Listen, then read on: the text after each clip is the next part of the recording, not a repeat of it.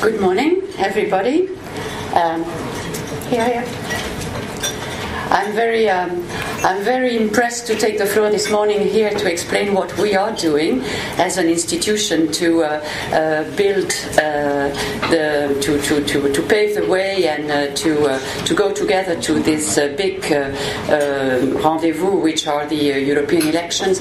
As um, as Director General for Communications, I often find myself in a kind of position of mission impossible, trying to communicate, to involve citizens to uh, uh, get them to vote, uh, speaking in um, in the name of an institution, as Christina said last evening, an institution which sometimes take sometimes to find their candidates to build their list and that has to offer uh, some um, some values and uh, uh, general policies to uh, the citizens without really having the possibility uh, to uh, engage into a, a, political debate.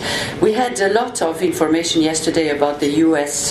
last elections, and um, you see when comparing the situation in, in the U.S. and in the European Parliament taking the position that maybe the only uh, assembly which can be compared to the uh, to the European Parliament could be the uh, the U.S. Congress. I mean, differences are so obvious that um, uh, we will not to try to make a comparison in terms of uh, financial means, in terms of person, in terms of resources, in terms of structure, languages, countries, etc., etc.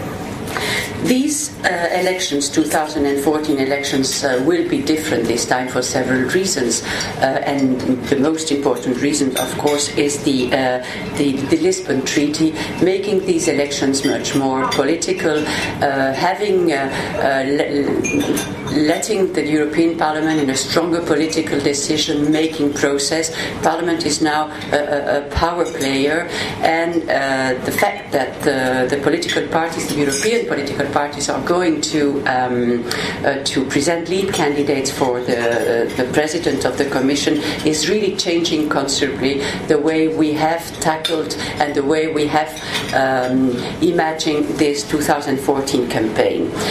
Uh, DG COMM in, in, in, Parliament has been preparing uh, its work since 2010 uh, through a series of documents passing to uh, the Bureau and um, which have made our communication uh, strategy much more focused on politics, policies and values. Parliament is a house where values are defended, but citizens are uh, present through uh, through this uh, the, this uh, election, and of course, it's a house of uh, politics. What we have been doing is um, providing tools and means and platforms in order to have a real political debate uh, organized and and and, and leader by the members and putting the members at the center of our uh, concerns, giving the members the possibility to express, to confront, and to be present in the political arena.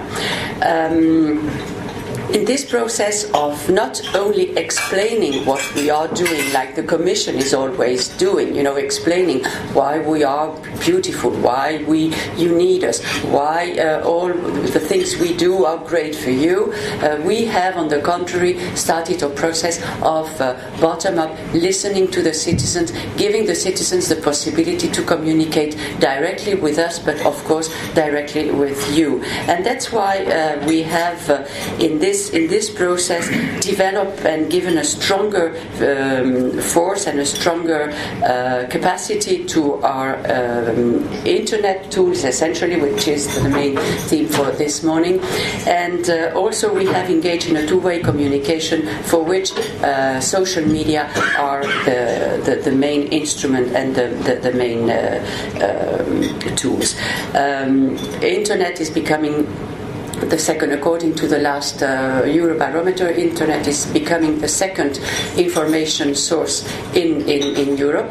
TV still being the first one, but newspapers, written press uh, uh, withdrawing from uh, uh, the second position, and uh, Parliament is really committed in, in, in, that way. You will see how we have been uh, progressing here since 2009 elections. So um, these are uh, the main uh, elements of our campaign, an institutional campaign.